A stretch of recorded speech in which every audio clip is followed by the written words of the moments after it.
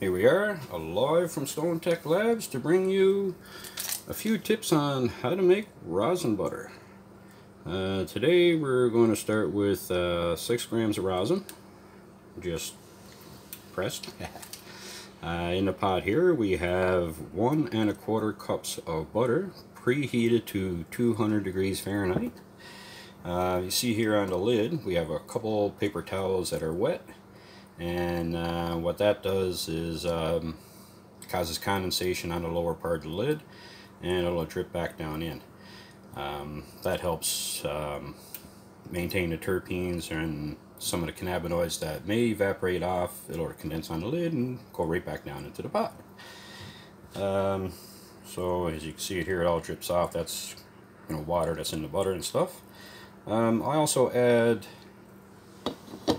one tablespoon of butter, I mean of water, per cup of butter to help things along there.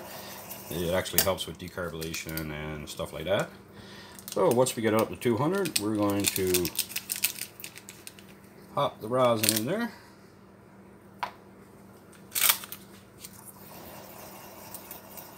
And we'll just keep stirring it until it's totally dissolved into the butter.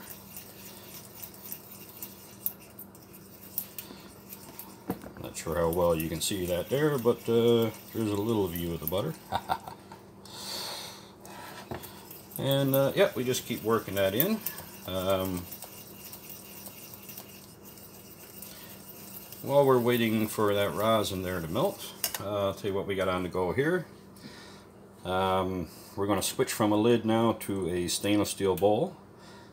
We have uh, ice cold water in the bottom of it. We're doing the same thing here. We want things to condense onto the um, to the bowl and drip back down in. Um, a bowl is better than a lid just due to the fact of its shape. It allows things just to run down the side and back into the pot. Oh, let's see how this is going here. Uh, that rosin was frozen. I find, uh, well, maybe not quite frozen, but definitely cold find it a lot easier to deal with when it's uh, nicely chilled. But uh, rather than sit here and make you all wait for this to melt, and actually I think it is melted. Yep, we got her good. And once that's all melted down, tap off our little whisker thing here, wisp, whatever you want to call her. And uh, yep, we just place that bowl on top with the cold water and now what we're going to do is we're going to watch and we're going to use our little gun here to uh, maintain temperature. Uh, see if I can get you a reading here. Uh, it says 149, 150, but if I give it a stir, she shoots up to about 200. Um, yep, so we're going to let that sit there now, keeping an eye on the temperature for a good 45 minutes, and then we'll remove it and cool the whole thing. And that's it for the butter. Well, thank you all for watching, and I hope you all have an awesome day. Be humble, be true, and be the real you. Bye for now.